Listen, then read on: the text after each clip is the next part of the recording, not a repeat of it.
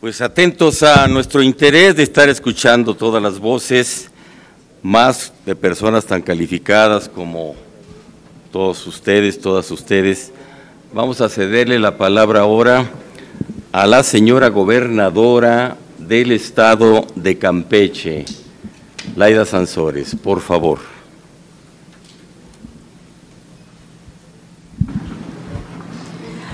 Pues,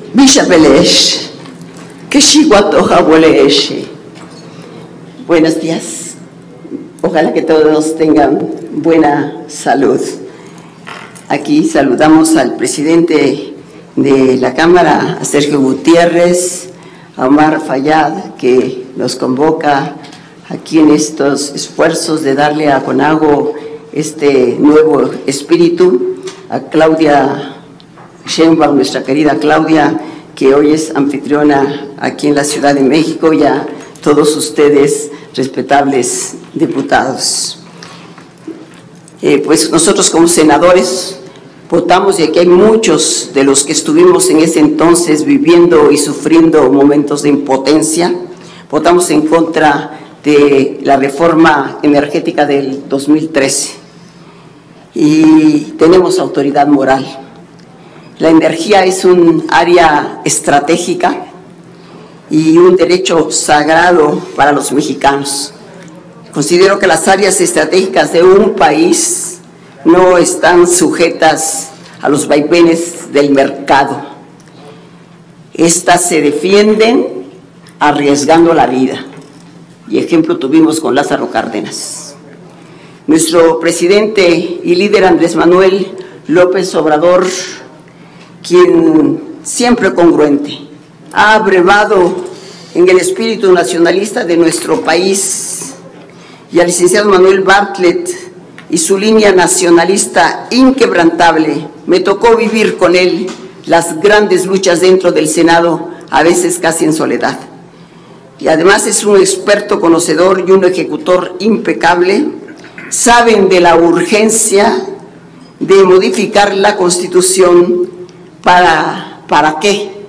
Para devolverle al pueblo soberanía, fortalecer el sistema de seguridad energética y de seguridad nacional para recuperar la rectoría del Estado, fortalecer la Comisión Federal de Electricidad que genera energías limpias, no es privativo solamente de las empresas privadas, y ya vimos el ejemplo que nos da nuestro compañero Durazo. Y también para devolverle al pueblo lo robado en beneficio de los ciudadanos, donde eh, hay que pensar que hay, darle, hay que darle mayor abastecimiento y mejores precios. Decía el licenciado Bartlett que la reforma eléctrica del 2013 fue un atraco, producto de mafiosos, eso lo agrego yo, pero que sí un negocio redondo a costillas del pueblo. Ellos usan toda nuestra infraestructura de ductos pagados con el sudor y el dinero del pueblo. ¿Y qué les cuesta? No pagan un pinche peso. Y ahí lo tienen con la mesa servida, la mesa puesta. Además, se les subsidia con 471 mil millones de pesos, que es con los que dice Claudia, con eso podemos volver a levantarnos. Eso equivale a haber vacunado a todo el país. Y bueno, hay que ver también que cuando se habla de subsidios, a la clase media le das la mitad de lo que se le puede subsidiar a esas empresas privadas. Pues así cualquiera se mete aquí a tierras de conquista, como nos han visto en el extranjero creen que todavía estamos en los tiempos de los españoles donde se pueden venir aquí a vendernos espejitos. Y aquí nos decía también el licenciado Bartlett que se les tiene que pagar el 100% de lo que ellos eh, eh, produjeron, aunque nada más nos den el 70%, pero hay que pagarles todo. Ellos no pierden, nunca pierden. El que pierde es el pueblo. Y se les compra la energía limpia por subasta a un precio mayor que en el mercado, lo cual es un asalto. ¿Esto cuándo lo han visto? ¿Y a cambio de qué? Que bajarían las tarifas eléctricas. Mentira. Que mejoraría nuestra economía. Mentira. Que solo ellos pueden producir energías limpias. Mentira. Que daría mejor servicio. Mentira cuando el alza del precio del gas natural, que fue dramática, ya no se acuerdan, 19 centrales decidieron apagarse. ¿Por qué? Porque pues no les conviene, no es business. Ellos money, money, money, es todo lo que les importa. ¿Qué pueblo ni qué pueblo? Entonces, ¿quién entra? La Comisión Federal de Electricidad para garantizar el abasto de energía e impedir que se mantuvieran los apagones ellos nunca arriesgan. Decía el diputado Noroña, a quien leo muy seguido y lo escucho en sus intervenciones en la Cámara, que ni siquiera por compasión, por caridad, estuvo la pandemia, pues un pesito que hubiesen bajado, algo que hubiese sentido el ciudadano mexicano, la solidaridad. Esto no se dio. Pero miren, el huevo de la serpiente, está, eh, porque no es reciente, ¿eh? Esto es el huevo de la serpiente de todos nuestros males. Está cuando llegó un presidente que como fue muy gris, ya no nos acordamos de él, Miguel de la Madrid. Él cambió el concepto de desarrollo de lo que era, lo que era el, México, cómo queríamos que progresara México. Y claro, ahí empezó el desmadre. Pero luego llegaron los chicos de Harvard y los que hablaban inglés y qué bueno que hablaran inglés. Lo malo es cuando empezaron a pensar en inglés, cuando empezaron a tomar dictados en inglés con tanta precisión y buena ortografía y con tanta desvergüenza. Ese fue el problema.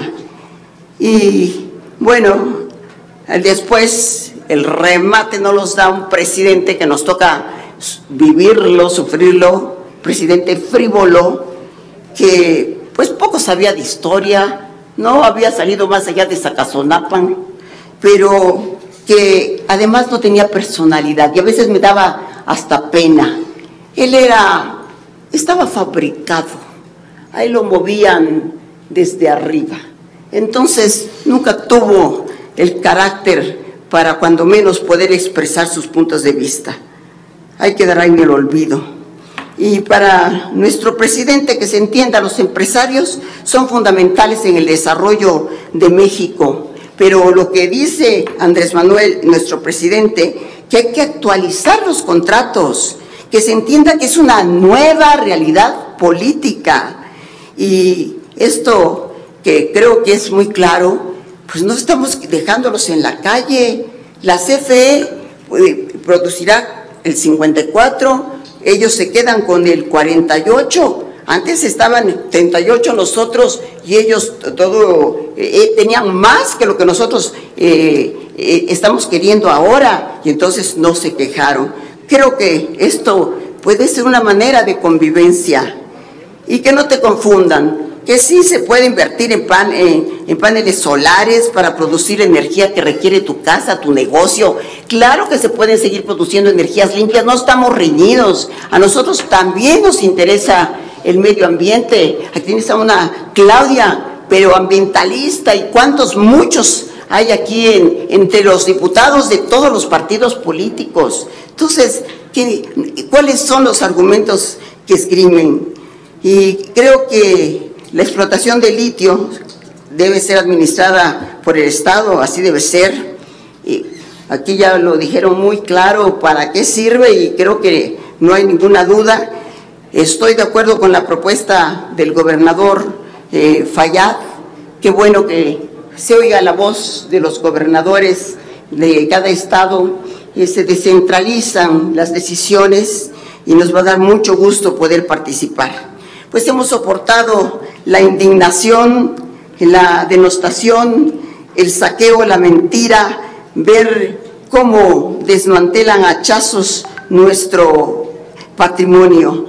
Esta reforma a la Constitución, saben, hoy tiene, me siento muy esperanzada, tiene sabor a reivindicación, a liberación, a justicia social. Esta es la hora. Hay viento para que las alas vuelen. Tula Calón, Jean Mulchimbatik, la 4T. Yo sé que todos juntos podremos caminar y hacer una realidad de la cuarta transformación. Dios Tech. Gracias. Y aquí me manda un... Aquí me mandaron ahí, perdón, porque ah, que el protocolo, que el presidente de la Cámara de Diputados es Ignacio Mier y que el presidente de la mesa directiva Sergio Gutiérrez. Bueno, de cualquier manera ustedes me entendieron y un gran saludo. Gracias a todos.